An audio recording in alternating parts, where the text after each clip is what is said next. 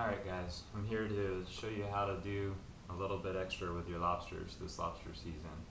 Right here I've got a whole pile of antennas, and right here I've got a whole pile of legs from this past mini season. I'm going to be taking this air compressor, or in my case a scuba tank, but you can use an air compressor, little bitty nozzle, shoots air, I'm going to be blowing all the meat out of this stuff. Uh, most people just end up throwing all this stuff in the water when they get done. To start off with these these antennas here. You go through, just pop it off where it makes a little hollow hole big enough for your needle to go through. Stick it in there. Give it a little shot.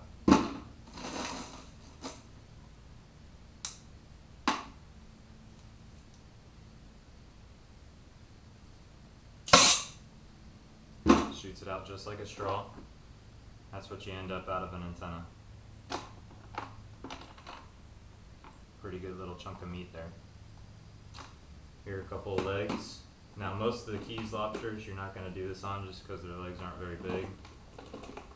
This right here is a pretty good sized lobster. It's over five pounds, so they got plenty of meat inside the legs, so it's totally worthwhile.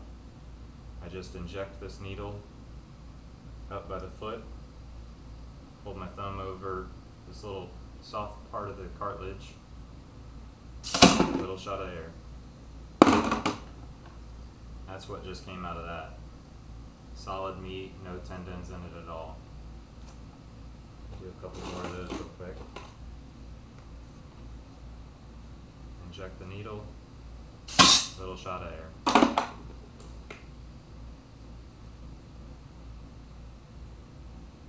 I like using the buckets because it gets kind of messy. You definitely want to do this outside.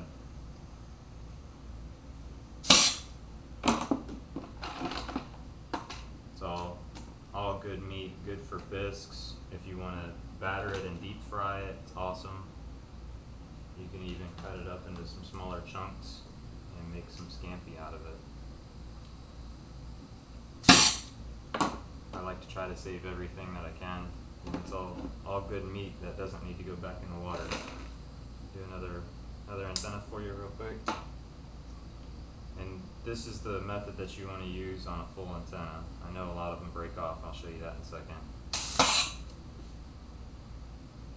Oh, that was a good one. You, you could just see it hanging, so you know I'm not just pulling your leg. Alright, I'll show you what to do if the antenna breaks off. We'll wash that off later. I got this other other nozzle or other tip.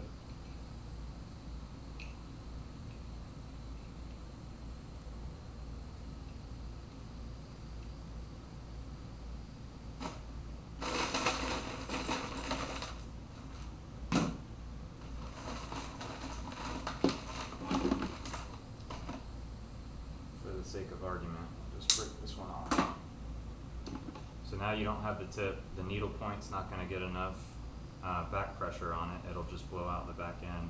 And this one almost does the same thing. So some, sometimes it works, sometimes it doesn't on the ones that are broken.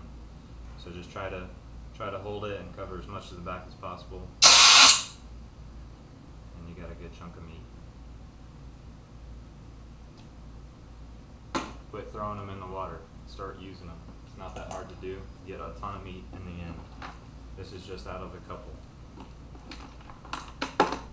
It's all good stuff. Give it a shot.